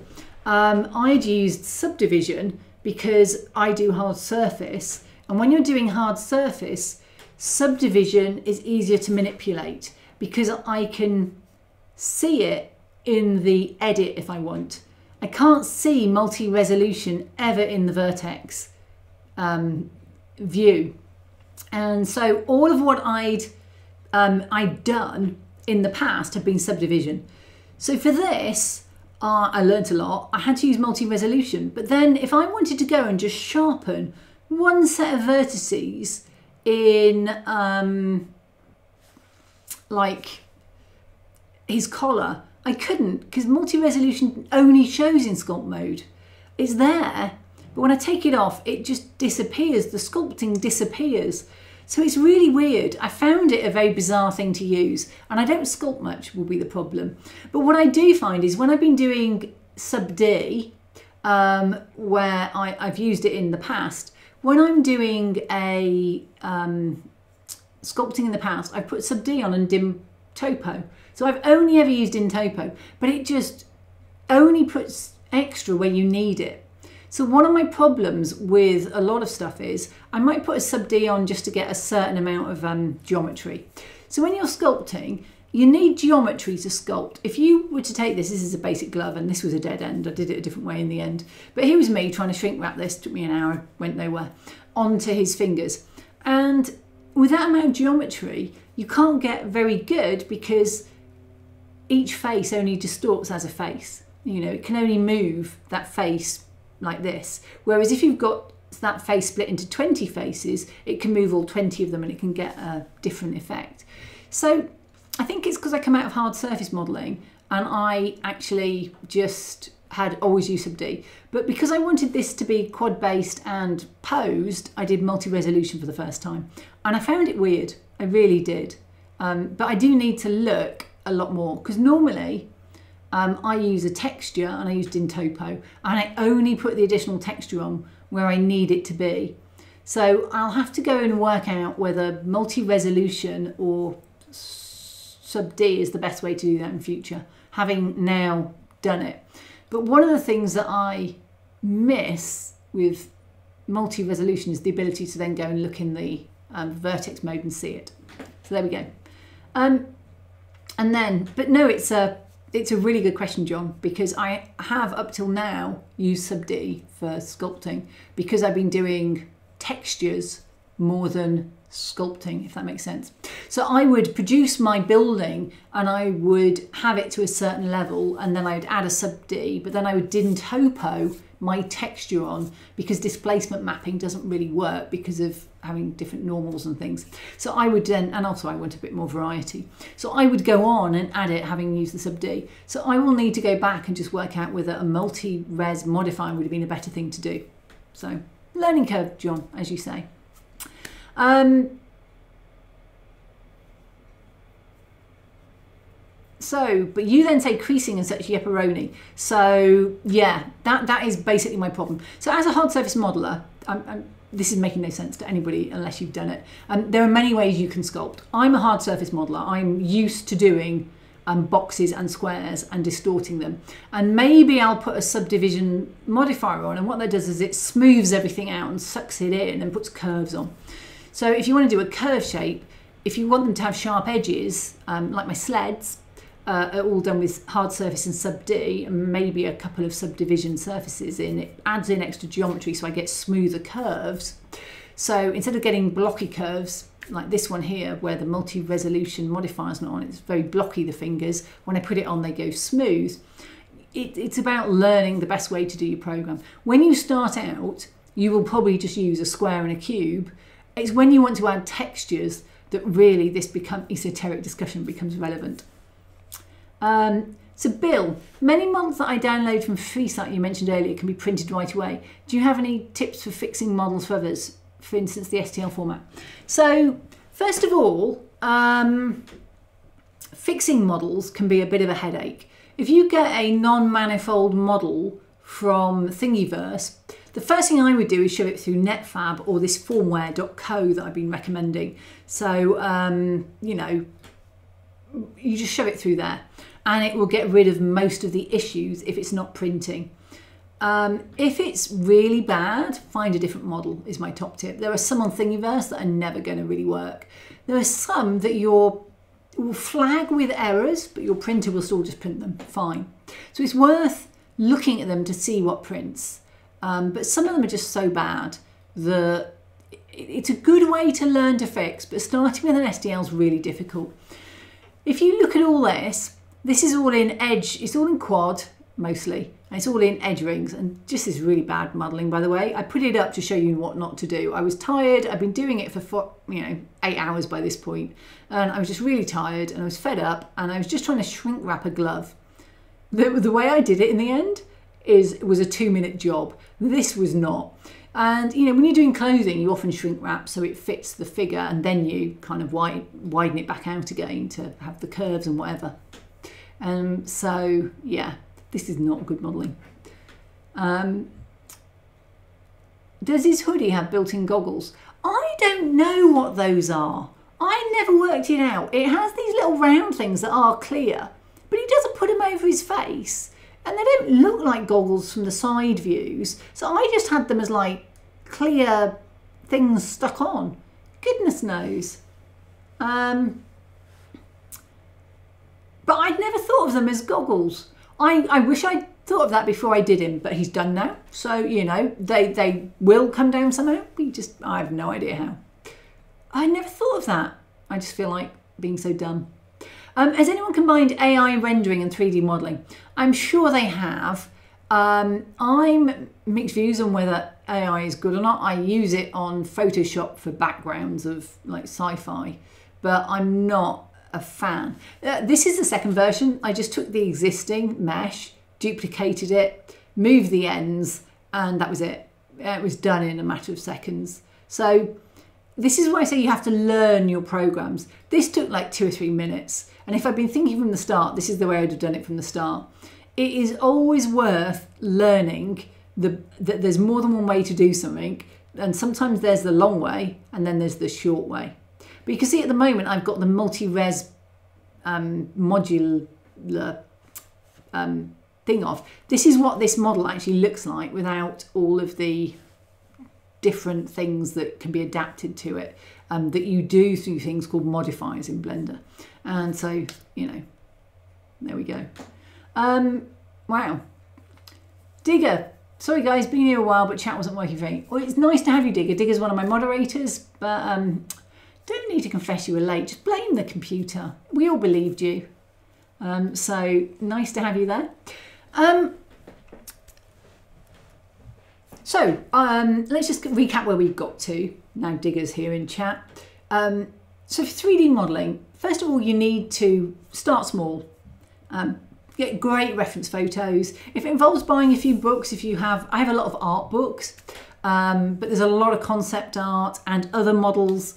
Um, you know, if you want to know how to do something, find a free version of something similar and go look how they did it if you want to know structurally. If you can't work out how to get your connectors to work, I asked John Games and he gave me the answer to that. Um, so thank you, John, for fixing my connector problem. It's really hard to clip in small sizes and it wasn't working. And John gave me some advice, which is really good. He's very good at fixing engineering and printability. Um, in fact, I don't know, John, if you were on earlier when we missed me trying to print um, Ben's before he'd done his printability pass. Um, so I had all the stuff the wrong way around on the cryotube lids.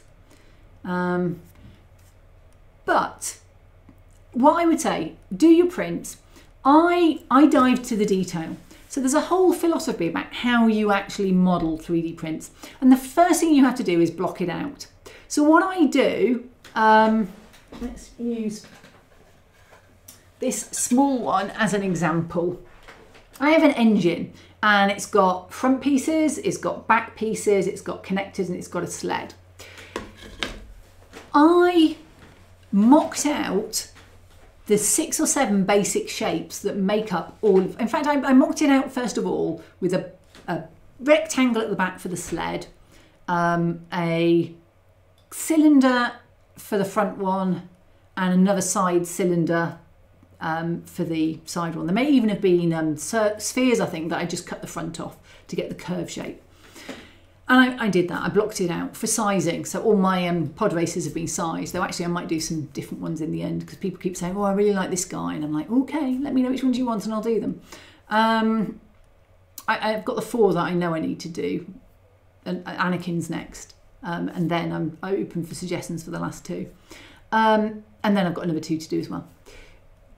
But I, I look at this, and um, then after you've done a big you know, very simple block out for sizing, make sure everything fits on the base, you know where you're going to go. I then mock in the big block items. So for this engine, I mocked in the side piece, you know, the little side booster. I mocked in that I needed a strut.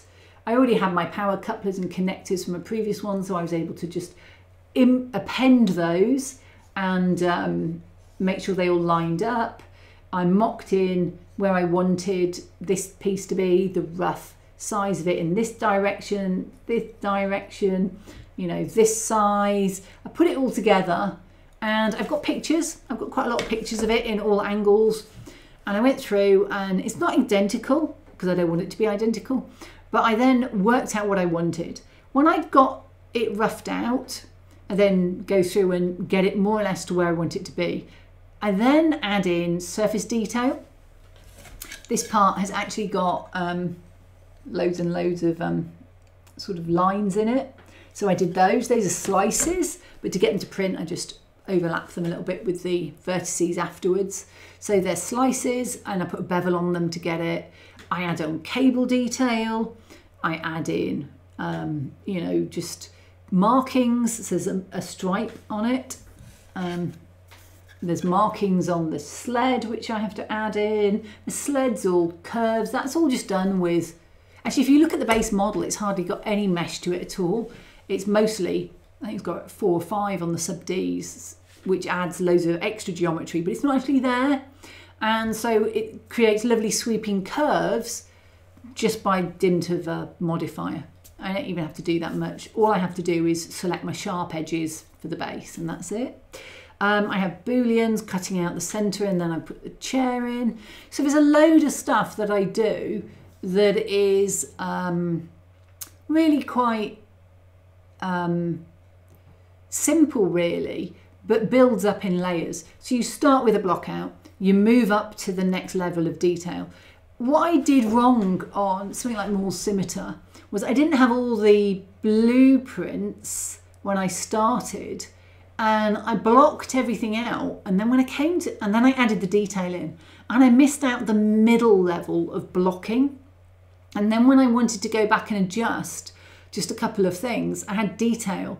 And once you've got detail it becomes a lot harder to start manipulating things and keep the smooth curves etc just because um, it's easier to manipulate it when you've got five vertices to move than when you've got five with a bevel running down the middle to put a panel line in. So it is about making sure you don't dive into the detail too quickly. You need to just keep going and adding levels of detail, but you need to check it's all working first. Um, and I now understand how to get my connectors to fit and all that sort of thing. So it becomes a lot simpler for me on my third one. But you know, this is my third one pod racer I've done in the last few weeks, you need to work your way up. Um, you know, you don't. I'd have been better starting with this one, though I'd actually done the engine for Ben years ago, which is why I started on that one. But this is a nice small one. I'd been better starting on something like this than I would have been starting on the really complex Sebulba, for example, which was the second one I did, just because um, you need to start small. So you also um, want to um, you want to think about how you detail. Um, and whilst I'm modelling, when I'm at that block out phase, I got this really wrong on Mawhonic. This is Mawhonic's one. Uh, I think he's from Malastare. Um, I couldn't work out which way round to print it. And I printed it and it's got a slightly slanted um, clip hole here because it has to go to here. So there's an angle and this is therefore this clip hole, this piece prints flat onto the build plate. I need to, and, and just I couldn't get that to print right. I ended up twisting almost every clip hole 90 degrees and changing. And this was printing flat across at first, across here. And I ended up printing it down the middle this way. And then that didn't print. So then it's now actually offset. So it actually prints offset, which is interesting. So it took me a while to work out how to print that one. It really did. And I think that's the same that you'll get. Sometimes you need to decide, are you printing for resin? This is a clearly resin print. For this, I mean, I'm doing this hand now, I'm posing him. Uh, normally you asked if you can pose appendages, yes you can. Um, I didn't bother posing the fingers because actually they were okay flat on this, but you can even bend all the fingers around into claws and stuff. I just haven't got those controls up for simplicity. Um, but I put that hand against his leg because it will make it easy to print. I'm, I'm, not sure whether his arms are thick enough at the moment. I may need to thicken them up for print purposes. It's been a while since I did resin tolerances rather than FDM. And, you know, here's the dude. He's actually only about this high. He's, he's a really diddy dude. Um, they all are. Um, so I've got this guy. He's definitely a resin print. He couldn't be FDM. But one thing you need to learn is if you're designing for 3D print, you need to learn how thin everything can be. And if it's going to be thin, how, will it be printable? Or do I need to attach it? So did his hand need to go on his base like that so that I can print those long thin fingers? Or will those long thin fingers print in midair? Um, you know, will they be all right in certain angles? If I have it hanging down like this, I've got four fingers that will need supporting when I do resin support. If it's up like this, it may well print no problem. So you have to start also learning your 3D printers. Now, if you've already printed quite a bit of um, minis or in FDM, you printed say one of the second dynasty ships or one of my terrain lots, you'll already have an idea but what you may not realise is how much of an overhang you can get away with. So on an FDM printer, you're printing a layer at a time and it can't print in midair. It just can't print in midair. So you always have to have um, something supporting it. But I design my stuff to be support free. So there's no supports on any of my items. So therefore, when I'm designing it and thinking about how it's going to print, I can't have a cable that just starts in midair because it just won't print. So everything has to be designed with the idea of how is this going to print. And interestingly, I did Maul Scimitar without that. And when I came to chop it, it was just a Christmas project. When I came to chop it up to print, I was like, oh, I haven't done the legs. But I was having problems then with, I suspect they would have because of the scale wasn't that big, but I just put cubes on, which is just what there is in the ship, just a cube sticking out. But if I was designing that for me now, actually I never, they're only small, but I'd never put a cube on. What I would do is put a cube with a bevel so that it's beveled in and always at a 45 degree as a minimum angle. And as a result, you start to get these tweaks. One of the things with booleans with Blender, which when I shove them through formware isn't a problem, but if you have two booleans, say you're cutting clip holes, and you've got two overlapping cubes that you're cutting through, um, if you cut with the same boolean cutter and cut out your clip hole, uh, Blender will make it non-manifold when it exports an STL. If you slightly offset your cutters, or if you, I generally just scale them to 0.99 or 1.01, and if you do that and then cut, or you know, generally make sure you don't have any overlapping pieces, which isn't always possible, um, then it doesn't have a problem. It can cope with the difference if they're only off by 0.001. So you, you have to learn each of your programs to work out their various quirks. Now, Ben designs in 3ds Max, I think, and he has different problems to me designing in Blender compared to somebody going into Meshmixer. So um, each of them has their strong points and you need to learn.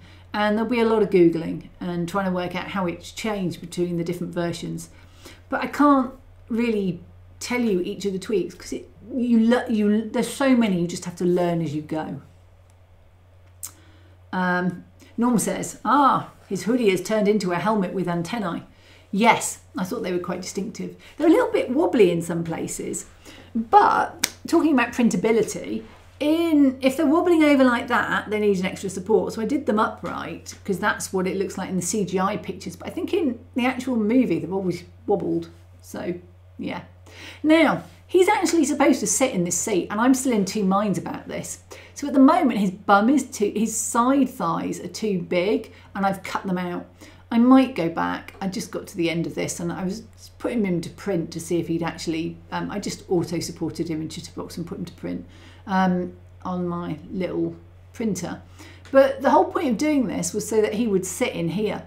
I could have, and he actually ironically has the fattest bottom of all the ones I'm going to design and he's got the thinnest seat because he's got side edges on it and he actually blobs over the seat and I can't decide whether I want to leave him blobbed over the seat he's got a little cutout, which you'll see in the end, blobbed over that seat, or whether I want him to be, I don't know. Yeah, I don't know. Anyway, I need to see if he fits and what, see what I feel like with it. Now, I didn't bend these fingers here because the actual control panel there isn't bent. Um, but this is using rigging. Um, I had the MakeHuman rig and I had to reattach it. Um, and so I had problems with his body. His body was just all one big piece never really will move. I wouldn't be able to move the head down and move it with this particular figure. Um, but when it comes in from MakeHuman, you can move almost everything. Um, so here he is, just trying to get him to fit to kind of pilot his own little ship that's already been designed. But the biggest problem I had with MakeHuman is it brings it out on a really, it brings it out as two meters, whereas I actually design in Blender um, as if the meter is a millimeter because that's just the way Blender actually scales when you export it. So I'm used to working with bigger figures. I find it easier to work with, you know, two, meaning two millimeters, than two equal than 0.0002 or whatever equaling two millimeters. So I've just always had it set in meters and done it. And this comes out a thousandth too small. But actually, it also needs to be in scale to fit into the ship. So I actually ended up just scaling him in, um, I ended up scaling the ship in Blender and then looking how much I'd had to scale the ship and then scaling the figure when I exported it to fit back into the ship. So there we go. Um, Angie says, hello Kathy, good to see you. You, you are doing a great job. Thank you. Norm says, Bob is a bit blobby. Yeah, I think Bob is a bit blobby. And his finger there is so tight to go round that actually it created a bit of an overlap. It probably would have fixed in the software, but I just got rid of it by hand by dissolving vertices. If you want to keep a manifold mesh, you can dissolve vertices and just rejoin them a bit to get a, and it doesn't create a hole. It might create a weird face, but it doesn't create a hole. Adam says, I have the side blobbing problem with sitting in my office chair. oh, bless. Oh, yes. So, yeah, he has a very lumpy backside in this. This is because I should have left it on a quad, but I'd sculpted it and then sorted some stuff out and then decimated it. And I'm not doing that next time. I'm leaving a lot more in quad mesh and decimating it. Now, these were all too big. Um, and actually, what I needed to do was to decimate them all down. So once I'd, I fixed the bows, once I was happy, and had to go manipulate the sleeves and some of the stuff where his arms had moved through things. I had to go and manipulate some of that to work better, um, which is just a problem I find with moving clothes when you're doing quite extreme poses with your figures, like sitting. Um, uh, yeah, he's, he's very bulbous. So yeah. So anyway, I had to go and fix that and then I had to decimate all the mesh down because it was too big to actually, it was just a massive file and nobody needs that many vertices on a file. So I, a lot of what this is sat here doing is actually churning, trying to get the mesh down to a decent amount. Probably had one or two biscuits too many, says Richard. Well, you know what they say, a minute on the lips, a lifetime on the hips. Mm. That there is an example of why I shouldn't have got rid of the um, decimated the mesh before I did all my posing. Live and learn. Um, I wasn't really, yeah, I wasn't really thinking that it was going to cause that much of a problem, but because it had gone into a weird decimated view, it was just, yeah. But anyway, it smooths out with a sculpt, no problem.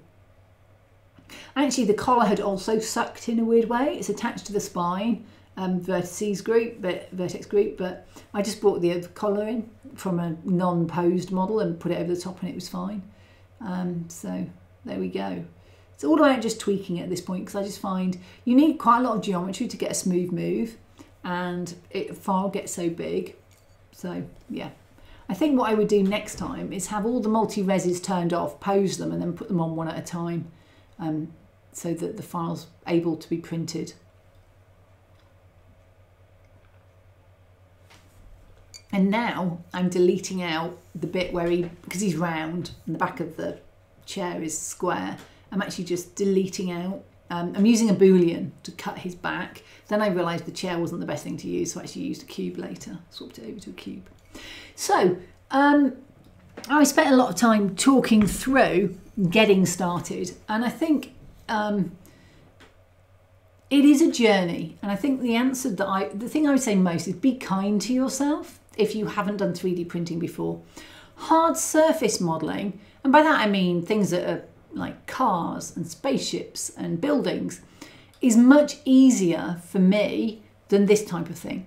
But there are some people who are all soft and sculpty and run, work with a pen and they would love to be able to just sculpt this figure from scratch. I'm very much a, I really like using, manipulating vertices and moving them and tweaking them. But there's no way I could have done that to do wrinkles. So I'm, I'm having to combine both of them in here and I'm just butting Gates working out which is the best way to do things. Um, and it's been a great learning curve this. I've really have learned so much about or reminded myself of so much. But I remember when I was doing Ahsoka, she's got a huge cloak. And I tried to sculpt the cloak and it didn't look very good. But I went in and used um, vertices and subdivision surface modifier and I got it to work really quickly, really well by just using a proportional editing and moving them.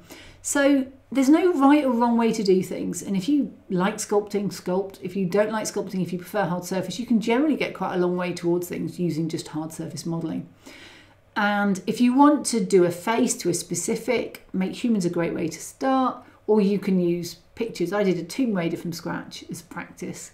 I think it really looked like her, but you know, I used all the sort of side on and front views and everything if you want um, to learn how to do buildings and things like that, there would be it. To me, it's all about going on YouTube and working out how to do a specific thing. Now, on this collar, when I was doing the sculpt, I'd seen a video that said you could do it like this, and I tried it for a good half hour, and I couldn't get it to work like the video worked. And I don't know if it's because he was on Blender 2.8 and I was on Blender 4, or if it was just that I hadn't set something quite right. But sometimes you just go, hmm.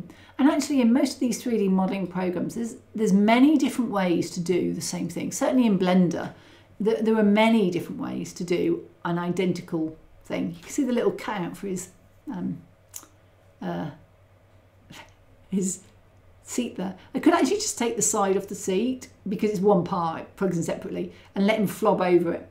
And I am tempted to just not have that seat um, cut there and, and let him, you know, just flob, if that makes sense.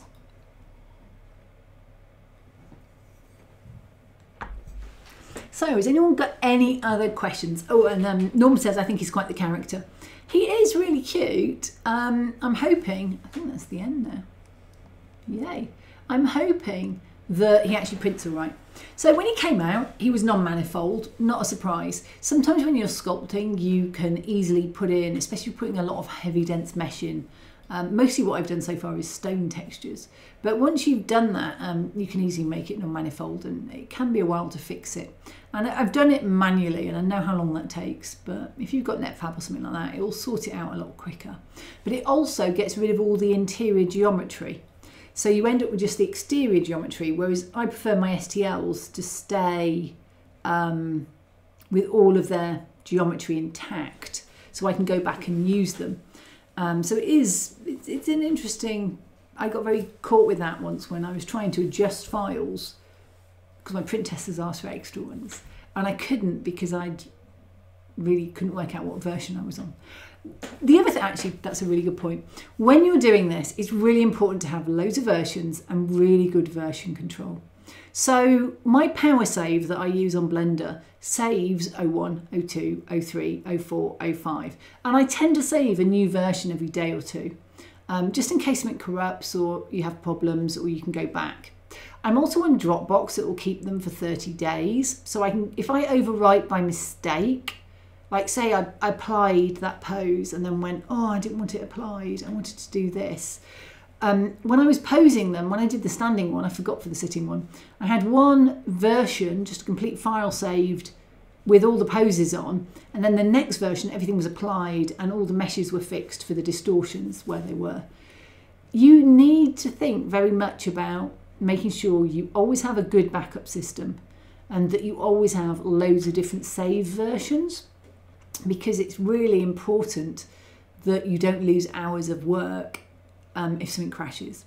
And Blender's actually very stable. It, what I find is I go, oh, I just want a bit more detail on there. It's looking a bit blocky. And I whack one more on subdivision surface and it just sits there and churns because I've actually tried to put too much geometry on.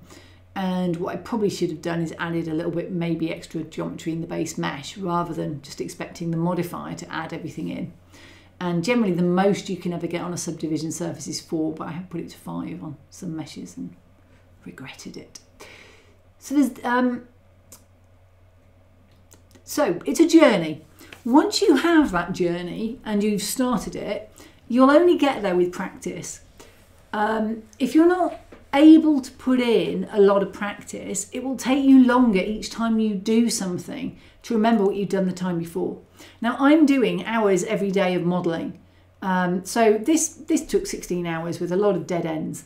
I know um, that the um, next one will be eight hours and the one after that maybe four hours. And if I was doing humans and I had my, say clones, so Darkfire Design does some great clones. He's already got all the base clones and maybe eight poses. So if he wants to add markings or change things or make him into an arc or tweak things, it's automatically a lot quicker because he's not starting again doing it from scratch. It's the same with this. The more 3D printing you do, the more assets you have lined up. So if I look at um, my third pod racer, for this, I didn't have to design the stand. I did have to shorten it to be the right height. I didn't have to design the cutter for this. I didn't have to design this base because I'd already done it. It got the cutout on the bottom. It got the line markings on. I didn't need to really design this connector. All I needed to do was tweak um, this aesthetic on this end. I didn't need to, you know, change this.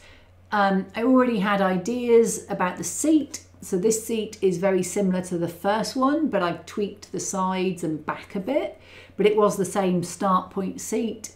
Um, this bit here, I knew the cutter that wanted to go in it, that this would fit. I knew the cutter for this. I knew the cutter for these. I had all my, um, these actually say left and right inside, so you know which one goes with which. I had all of that already done, ready that I could just append and move. So the assets to do the third one was much, much quicker than to do the first one.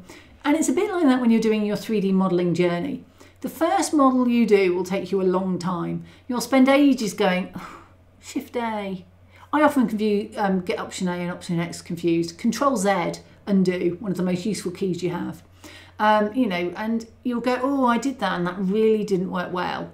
And then you'll go, oh, I wonder, if, and you might go Google it, you might find a YouTuber who's done it, and then you discover a shortcut, or you subscribe to a course and watch them do it, and you go, that's how it works. And I do recommend watching a few good courses when you start. I've never found, before anybody asks, a good 3D printing course for Blender. Um, I found a lot of things when I've been looking and what I found is texturing. A lot of people use ZBrush, and it's easier in ZBrush to texture. It doesn't like it copes with the extra density a lot better. So you find you look at different ways to do things, and people say you can do texturing like this, and you go, oh, that didn't really work for me. And then you find someone else's video and he's, he scattered rocks, and you go, oh, I remember Josh Gambrell has a great video on how to scatter rocks, and it's from two years ago now. And you, next time you want to do it, you think, I've done it three times and I still can't remember it. And you go back and you have to watch the video again to remind yourself on how you did it. But if you do 10 things with rocks in a row, you don't need to go and watch the video again to remember how to do it. When I was posing, I had to go back and watch the video on how to pose because I couldn't remember how to pose the characters to get them to move because um, it'd been that long since I'd done it, probably three years. Um, so it, it becomes quicker the more you do. If you only ever get a few hours at the weekend to learn 3D modelling, it will take you longer and you need to have a better memory for what you've done before because you're just not getting the hours in. And if that's the case, be kind to yourself. If you're only doing a couple of hours at the weekend, it's a hobby. You, you, if you're going to do this sort of level of 3D modelling, it's a hobby in of itself. It's a process in itself. I'm not doing any concrete, real life modelling at all at the moment because all my modelling is virtual. What you'll find is you've transferred your modelling time from the workbench to the computer. And if you don't want to do that, learn the basics of how to take a bought file, fix it, maybe cut it up to fit on your build plate, maybe distort it slightly or swap arms over if you want things like that. Um, don't feel you need to be able to get to the next step unless it's something you're actually interested in. But if you are interested, then find a program. Blender's incredibly powerful and commit to learning it. Get some courses, learn it, practice it, and it will get easier the more you practice and it will take time.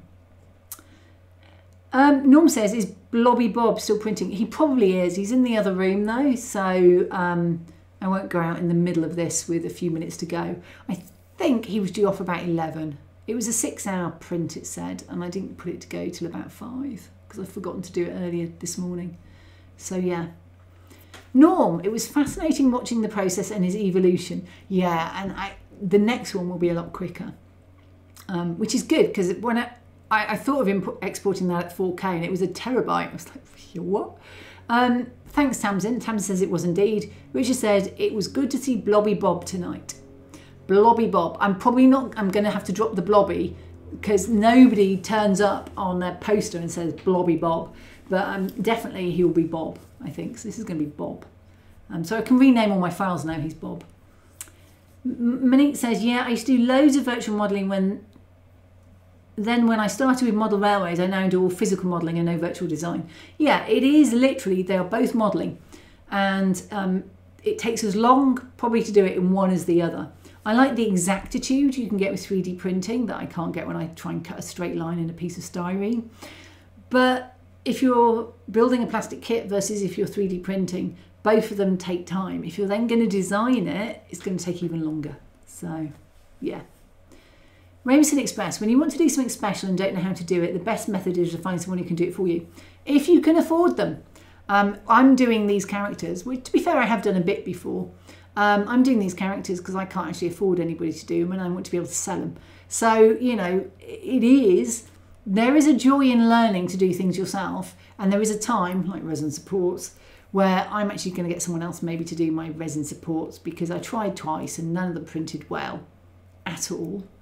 And I need, and I couldn't get Chitterbox to hollow and put a hole in. I get it to hollow, I can get it to put the hole in. It just wouldn't put the hole in. And actually somebody else went off and did it for me and looked at it and put it um, into Meshmixer to do the hole. I do have Meshmixer. Blender doesn't hollow well and obviously Lychee wouldn't export and oh, I was just having a nightmare. So um, Tim says Mr. Blobby. He's not pink with yellow spots. Um, Bob Quadro. I think it could be, um, yeah, Bob Quadro the fourth. Yeah, we still need to work on the names. I'm not sure Quadro might be a bit close to Quadinaros, but maybe Bob Fourpack. No, no. I don't know. I haven't got his last name yet. Bob Jetster. Hmm. Jetstar. We'll have to have a go. I'm definitely thinking that Sebulba's the bully. So he's bully something. Bully Bullhorn. Yeah. We're getting there. Right. We're getting near the end. Um, thank you everyone for coming. If you've got any questions afterwards, don't forget to pop them in the comments. Nobody's reminded you to hit likes and we've got 52 likes and 43 concurrent viewers so we've done well there so thank you guys um, if you're not subscribed remember to do that stuff and um, if you want to know more about anything, I'm normally on my Discord. And um, yeah, and if anybody is going to the May 4th weekends to watch the 25th anniversary, um, The Phantom Menace, or to watch all three of them, enjoy it. I can't believe it's 25 years. And um, I do think Ewan McGregor gets better with age. I do think he actually looks better now than he did back in 1999. Maybe it's a good thing because I'm actually older as well. But yeah, enjoy. And I'll see you all next time. Thanks, guys. And if there's anything you want me to cover in these, um, because I'd done this all week, I thought, and I'd be doing it for Patreon, so I had the video shot anyway. It's what I did this time. Um, if you want me to do something else, let me know. Just drop it in and I'll be happy to chat. So, thank you all for watching, and I will see you next time. Thanks to Norm, Timber, and Digger, my moderators, for moderating. Really appreciate it. And um, Monique, have a good day. The rest of you probably have a good night and anything in between. Take care. Bye.